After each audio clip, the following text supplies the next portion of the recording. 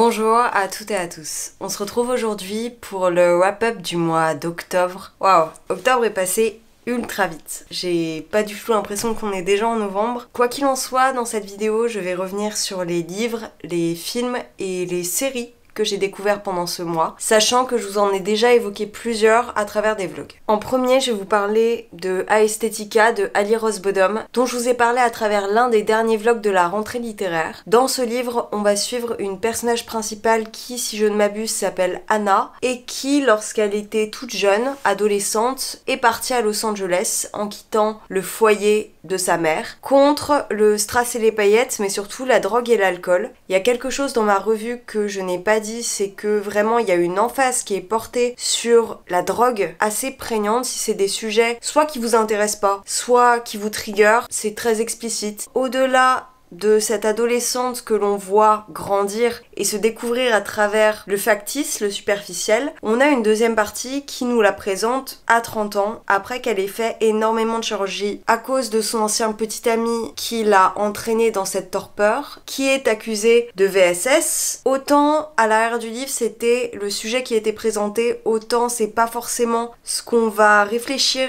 et ce sur quoi on va se concentrer dans le bouquin. On va beaucoup se concentrer sur la relation à la mère et aussi le détachement à la mère, la question de trouver son identité et surtout son authenticité dans ce monde. En fait, ce livre, je trouve qu'il avait beaucoup d'éléments qui étaient pertinents mais qui n'ont pas été traités soit en profondeur, soit correctement. De toute façon, je vous laisse aller consulter le vlog pour en savoir plus et pour avoir mon retour à l'instant T. Un autre livre que j'ai lu dans le cadre de la rentrée littéraire, il s'agit de Madeleine avant l'aube de Sandrine Colette, qui était donc en lice pour le prix Goncourt, qui n'a pas gagné mais qui était donc en finale. J'en ai également parlé en vlog donc je ne vais pas m'apesantir dessus. Dans ce livre, on suit simplement un village reculé dans les montagnes où tous les individus sont des prolétariens qui travaillent la terre et qui ne récoltent jamais ce qu'ils plantent. Ça a toujours été comme ça et c'est dans l'ordre établi. Et jusqu'ici, personne ne s'en est plaint. Mais un jour, Madeleine, une petite fille qui semble sauvage, sort des bois et il y a une femme qui va la recueillir en disant que c'est sa propre enfant. Et on va suivre ce roman qui est très sombre, très noir. Il a rien de gothique, il y a rien de surnaturel, mais il y a une pesanteur que Sandrine Colette arrive très très bien à retranscrire et à nous donner. Étonnamment, j'ai trouvé qu'il y avait trop de pesanteur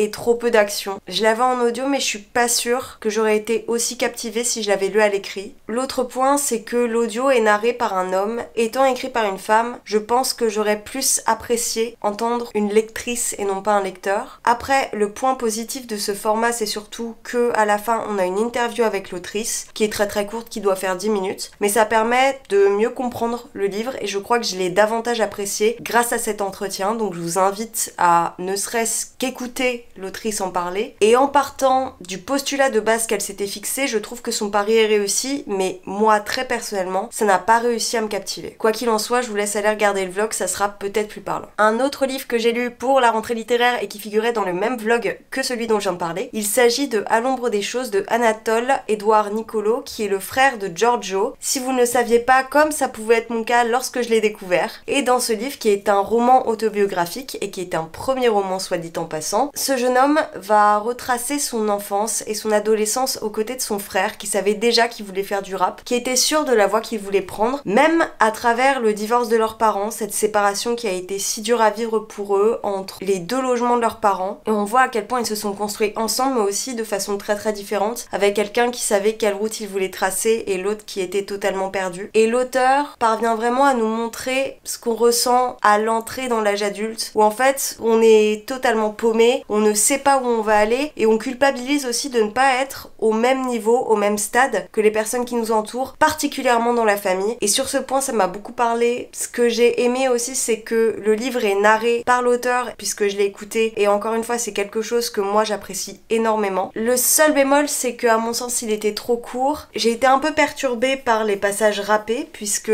Giorgio intervient à la fin des chapitres en rappant. Donc on le lisait, on lisait son adolescence aussi, on l'entendait derrière. Et c'est un bel hommage à la fraternité, mais je crois que j'aurais bien aimé aller plus loin encore puisque le livre est très court. J'avais un peu une sensation de rester sur ma faim. Pour autant, j'ai beaucoup apprécié cette plume et je serais très curieuse de voir ce qu'il écrira à la suite.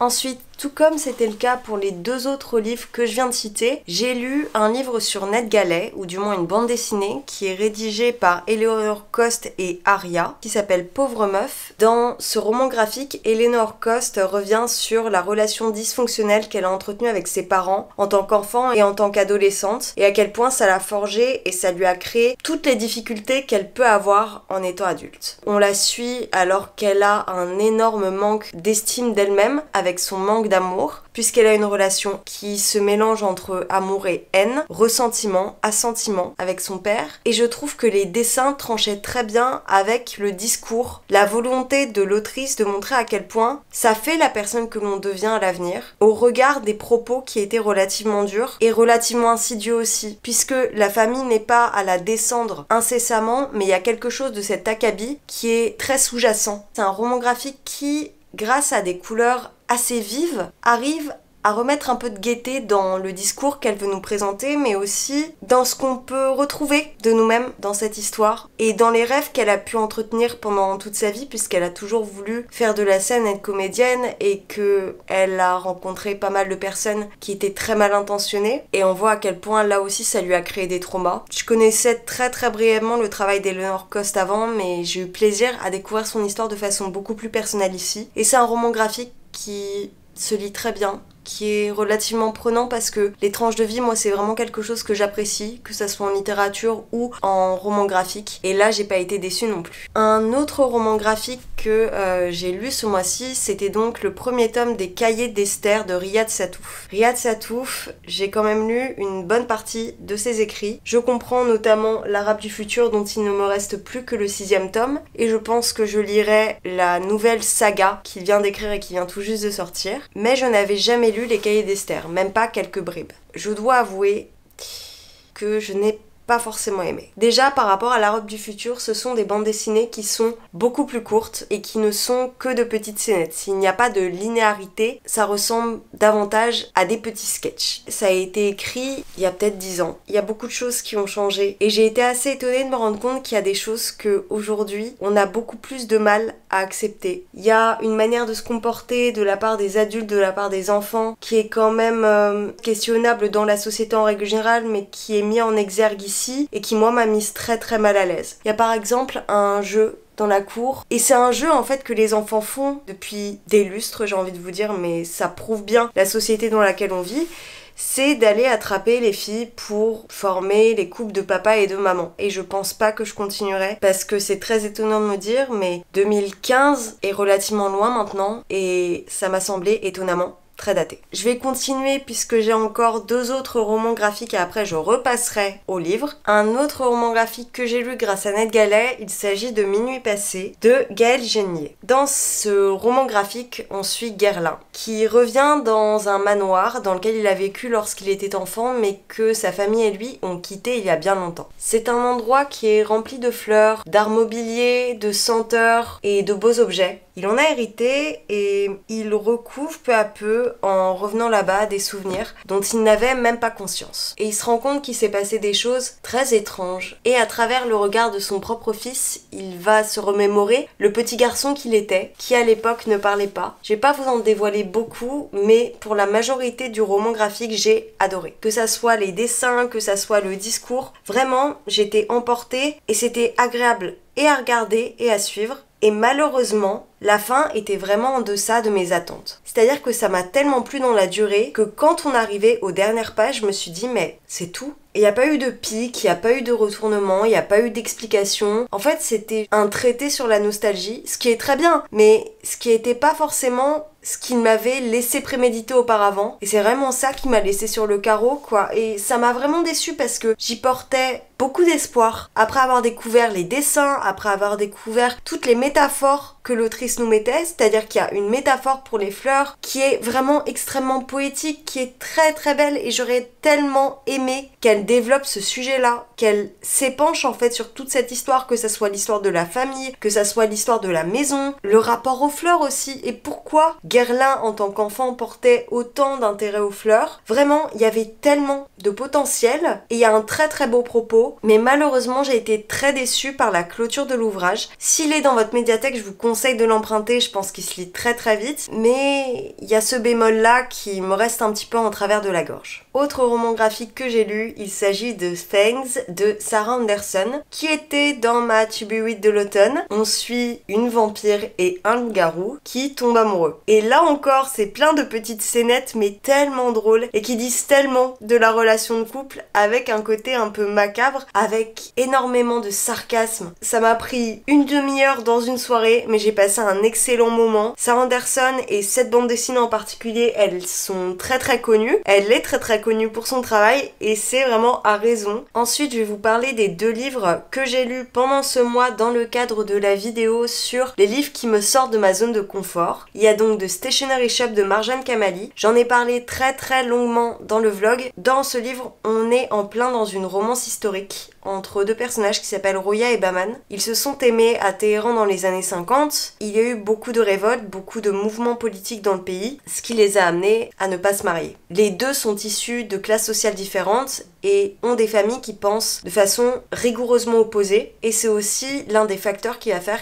qu'ils ne vont pas pouvoir finir ensemble. Le livre a une différence de chronologie, c'est-à-dire qu'on va faire des allers-retours dans le temps entre l'époque contemporaine, 2012, et les années 50, voire même avant. J'en ai donc encore une fois beaucoup parlé dans mon vlog. C'est un livre que j'ai beaucoup aimé par la surprise qu'il m'a procuré, c'est-à-dire que je m'attendais pas autant apprécier. J'ai aimé découvrir cette part de l'histoire que je connais très peu, et sur le coup, ça m'a vraiment beaucoup plu. J'y ai vu beaucoup de longueur encore une fois. A posteriori, je trouve que c'était un très bon moment de lecture, mais il me restera pas très longtemps en tête, je pense, malheureusement. Il y a des sujets que j'aurais voulu voir abordés beaucoup plus amplement, et c'est ça qui m'a manqué. L'autre livre, c'était donc mon 5 étoiles de la vidéo, et il s'agit de Des fleurs pour Algernon de Daniel Keyes. C'est un classique de la SF, si tant est qu'on puisse parler de SF ici, puisqu'il y a quand même une part de réel qui est très très importante, puisqu'on suit le personnage de Charlie, qui est un homme qui est idiot de façon pathologique, j'entends. Il a été reconnu comme tel par les médecins, et il est donc dans un institut. À côté de ça, il travaille dans une boulangerie un jour, il y a un programme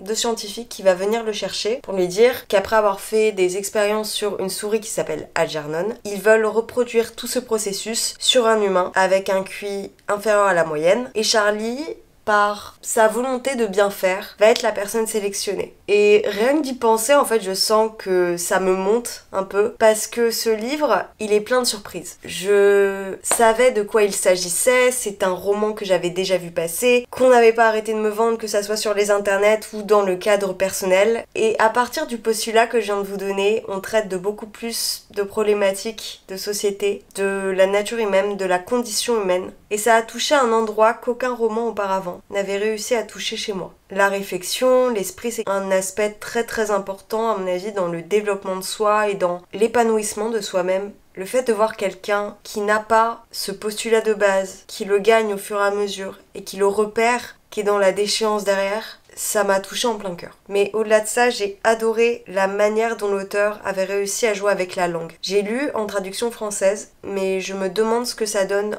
en langue originale. Il y a un jeu avec les syllabes, avec les mots, avec la formation des mots, avec l'orthographe, qui, si vous accordez beaucoup d'importance aux fautes, va vous faire cringe au début, mais qui s'explique très très rapidement, puisque l'opération de Charlie arrive au bout de 30 pages. Je vous mettrai également le lien du livre audio disponible sur YouTube que j'ai écouté en parallèle. Je vous conseille de le lire. Encore une fois, c'est un 5 étoiles, et encore une fois, je vous invite à aller regarder le vlog pour avoir un avis sur le coup. Et ensuite, je vais vous parler des livres que j'ai mentionnés dans le dernier vlog disponible sur la chaîne. Je commence avec le premier que je vous ai évoqué, à savoir The Secret History de Donatart. Dans ce livre, on est au cœur des États-Unis, dans le Vermont, et on suit sous le regard du narrateur qui s'appelle Richard le parcours de ses cinq collègues, ses cinq camarades et de lui-même au cœur d'une université d'élite. Dès l'Inkipit, Richard nous dit que l'un de ses camarades, l'un de ses amis, qui s'appelle Bunny, ou du moins qui est surnommé Bunny, est mort. Nous, on ne sait pas comment c'est arrivé,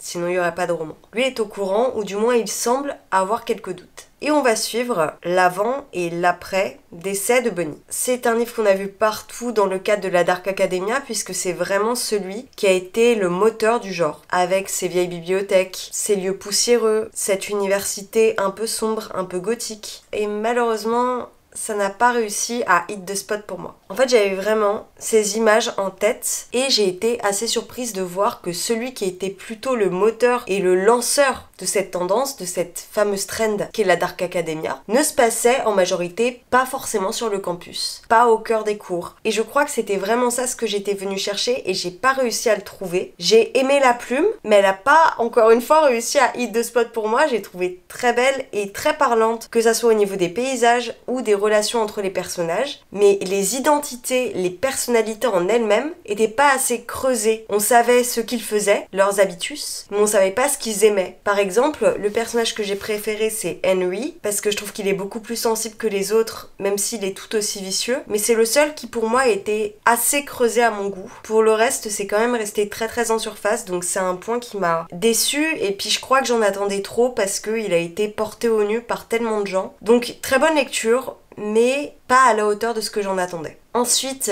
j'ai lu Boy Parts de Eliza Clark, que j'attendais depuis quelques temps quand même, et là aussi j'ai été déçue, mais alors là, beaucoup plus. Le mois dernier, je vous parlais de Vladimir, aka le délicieux professeur V, et j'ai retrouvé quelque chose d'assez similaire dans ce roman. Eliza Clark, j'avais déjà lu Penance d'elle cet été, que j'avais adoré. C'était un quasi 5 étoiles, 4,75. Et je m'attendais à retrouver la même chose ici. Eh ben pas du tout. Dans ce livre, on suit Irina, qui est une aspirante photographe, qui est en voie de professionnalisation, enfin du moins elle sort tout juste du cursus qu'elle a suivi pour devenir professionnelle, et elle vit à Newcastle. Elle est absolument obsédée par les images assez choquantes, et les pratiques assez choquantes aussi, j'ai envie de vous dire, enfin du moins c'est quelque chose qui est sous-entendu tout le long du roman, puis on le verra à travers les avancées dans l'histoire. Elle boit beaucoup, elle fume relativement souvent, mais surtout, le sujet, c'est qu'elle adore prendre en photo des hommes dans des positions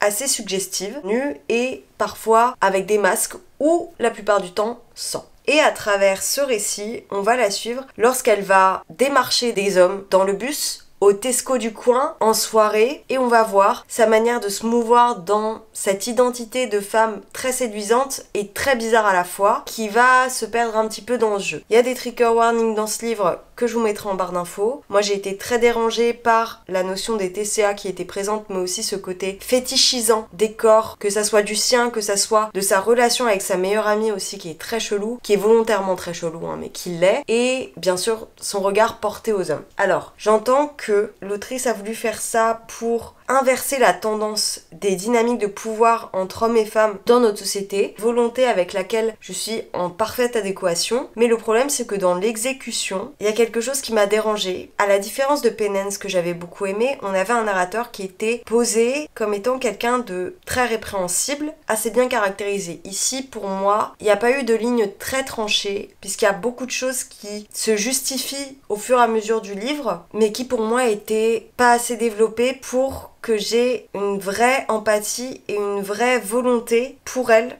d'aller mieux. On voit que les traumas l'ont forgé. On voit qu'il y a une volonté de montrer à quel point tout peut basculer. Que ça soit en tant que victime ou dans la position inverse, la lisière est très très fine entre les deux. Comme je le disais dans le vlog où je l'ai évoqué, pour moi c'était subversif juste pour l'être de façon tout à fait gratuite. Ça n'a pas réussi à me convaincre puisque elle aurait pu s'épancher sur des sujets et qu'elle a décidé de prendre une autre voie. Autre livre qui pour le coup est très très court et que je vous ai mentionné dans le vlog, mais pas des moindres, il s'agit de Résister de Salomé Saké. Résister, elle a décidé de l'écrire après avoir figuré dans une liste de noms de personnes à abattre sur les sites d'extrême droite. Elle a décidé à partir de là de faire un retour sur la place de l'extrême droite en France et la manière dont elle prenait de la place dans tous les médias qui nous entourent. Grâce à des éléments, que ça soit dans les médias, que ça soit à travers l'histoire en elle-même, elle va nous montrer à quel point ce parti politique qu'est le FN n'a jamais eu une place aussi prégnante dans les médias. Ce même parti prône des politiques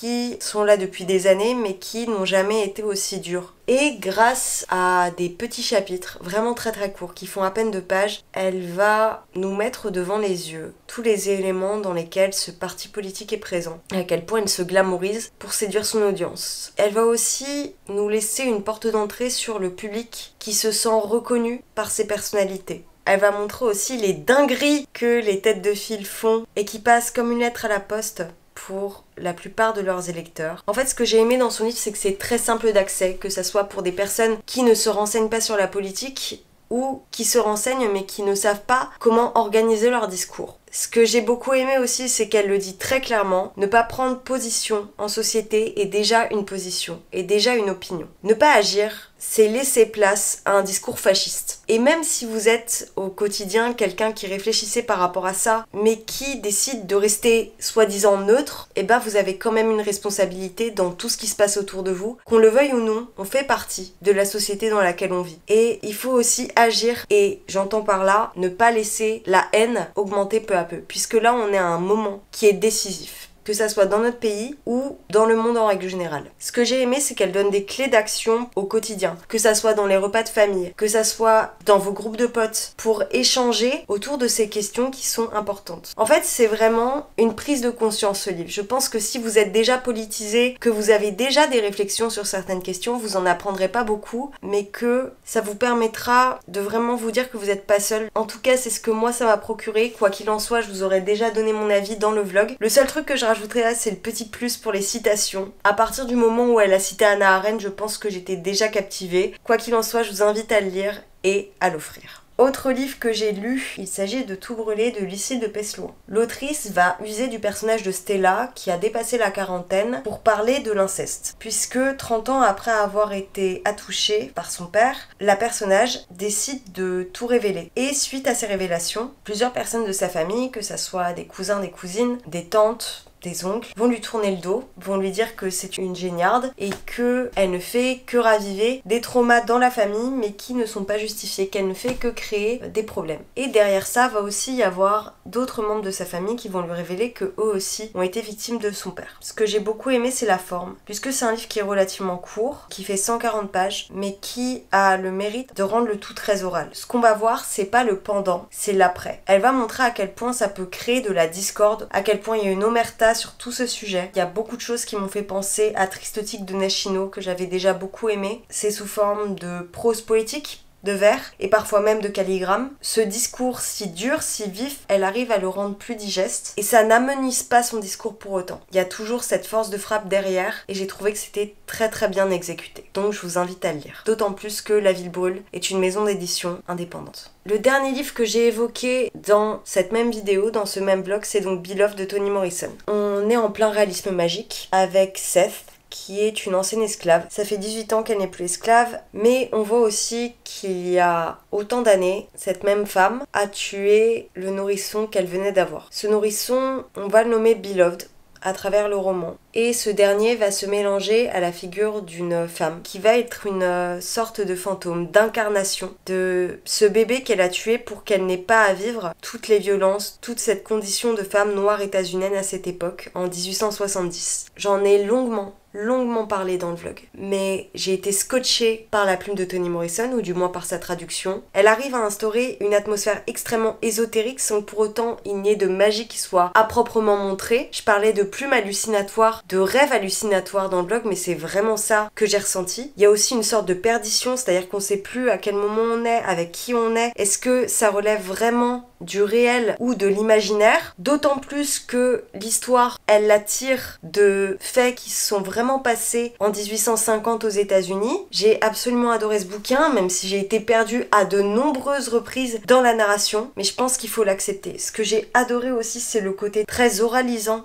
de certains passages, puisqu'il y a tous les chants des esclaves noirs états-uniens qui sont extrêmement marquants dans l'histoire des États-Unis. Là, on est vraiment au cœur de l'histoire, en le traitant à partir de l'intime. Ça m'a beaucoup fait penser également à ce livre de Marie Scondé, Moi Tituba sorcière, et je l'ai préféré à Moi Tituba sorcière, mais il y a quelque chose de cet acabit. Je vous invite à le lire, et si vous êtes touché par cette plume, si elle vous capte, vous allez trouver quelque chose de très saisissant. Le dernier livre que je veux mentionner, eh bien, il s'agit d'un recueil de nouvelles que j'ai écouté grâce à Ned Gallet, 9 histoires à glacer le sang. Comme vous pouvez vous en douter, et comme c'est souvent le cas dans les anthologies, il y a des textes qui nous touchent plus que d'autres. J'en ai trois préférés, 3-4. Je vous avais déjà parlé dans ma tubuite du mois d'octobre et de l'automne de toutes les nouvelles qui figuraient dans ce recueil. Ma préférée, c'est donc la première qui est donc la nouvelle de Tolstoy que je vous avais déjà mentionnée dans le précédent vlog et qui s'appelle La famille du Woudalak, qui est sous-cotée. On suit l'histoire d'un homme qui quitte sa famille pour aller faire une expédition parce qu'il est anthropologue, je crois, et il part dans des terres reculées, pas en Transylvanie, mais on n'est pas loin, et il les prévient que s'il ne revient pas avant une date bien précise, ça voudra dire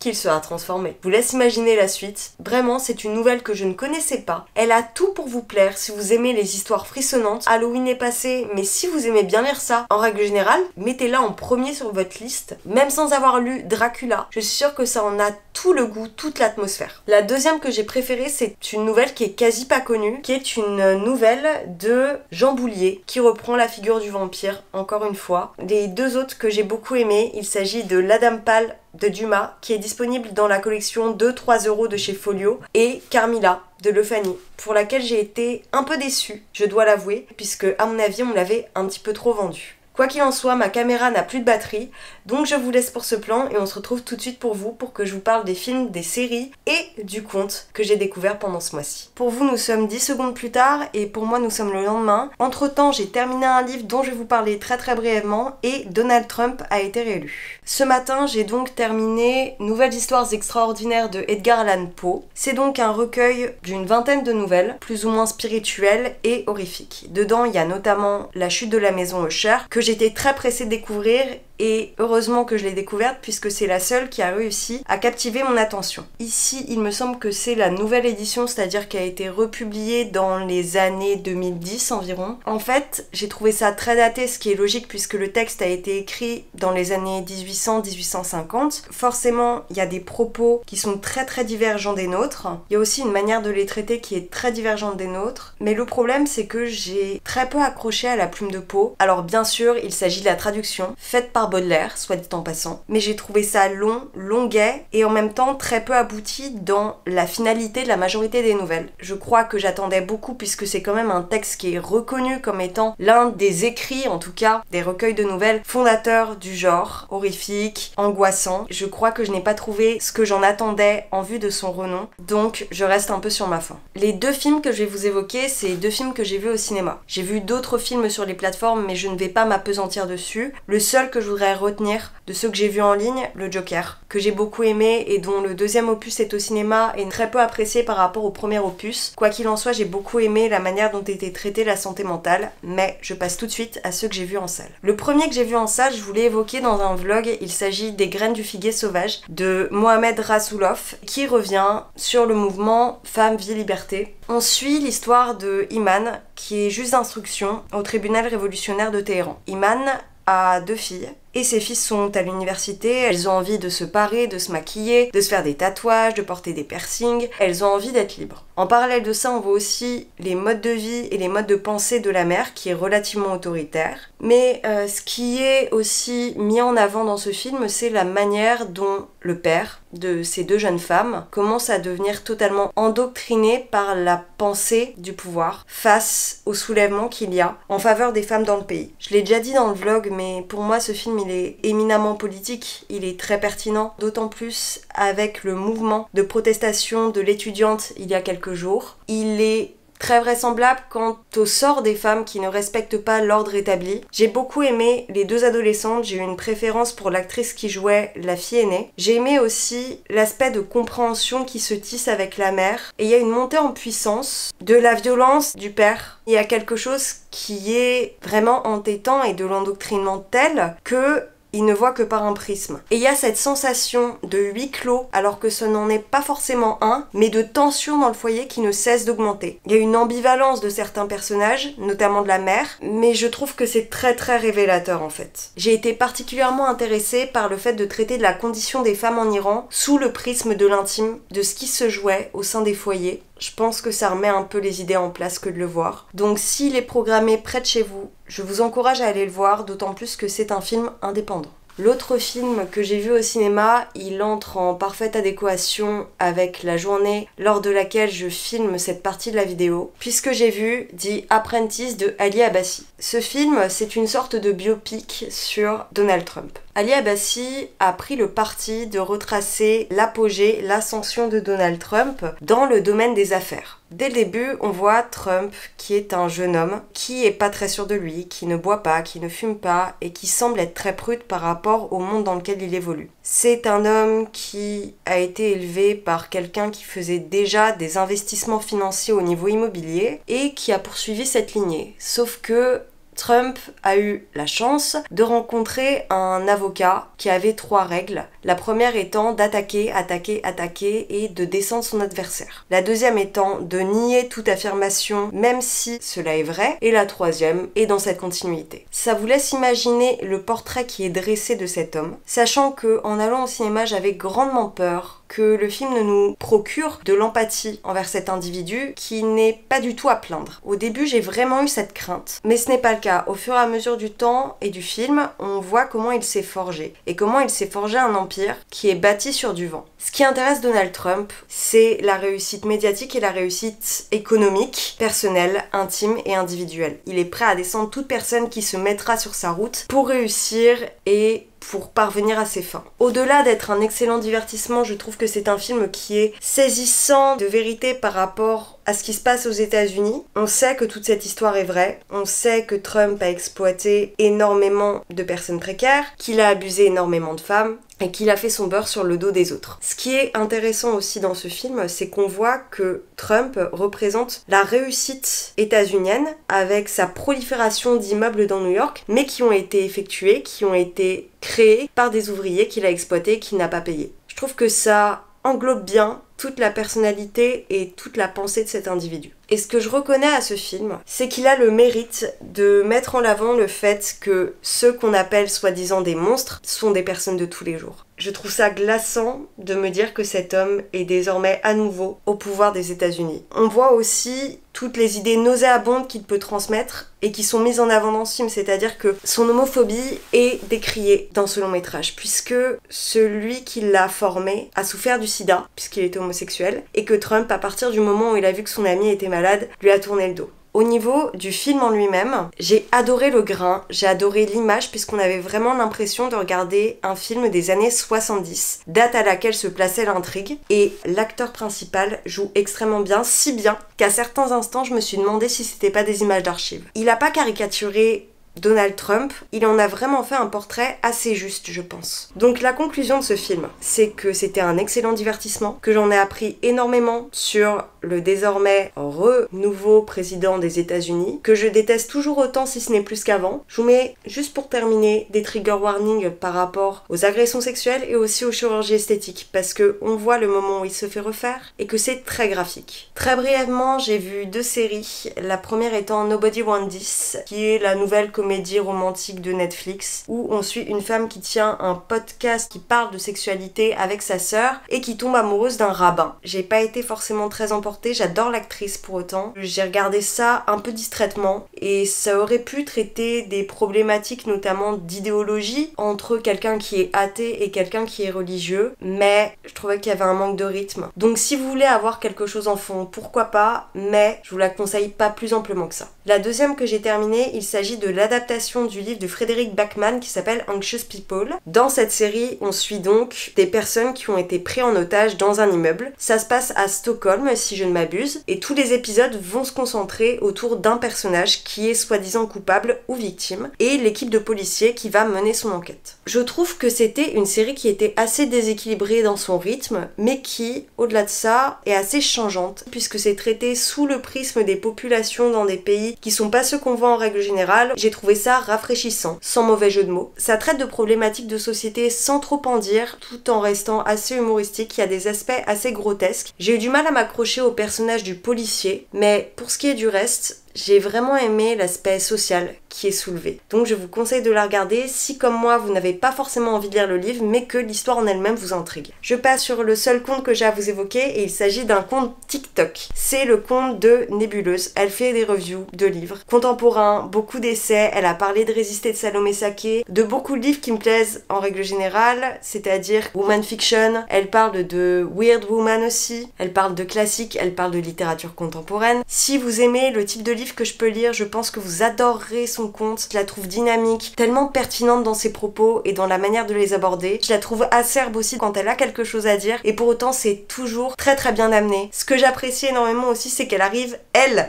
à être concise quand elle a un avis à donner et c'est quelque chose qui me manque donc je pense que je vais prendre exemple. Quoi qu'il en soit, je vous mettrai ses liens en barre d'infos et je vous invite à aller regarder ce qu'elle fait. Voilà pour ce wrap-up du mois d'octobre, j'espère qu'il vous a plu. Si c'est le cas, n'hésitez pas à aimer, commenter. Si vous avez lu certains des livres que j'ai évoqués, les films que j'ai abordés, n'hésitez pas à me le dire en commentaire. Et puis nous, on se retrouve dans la prochaine vidéo. Sur ce, ciao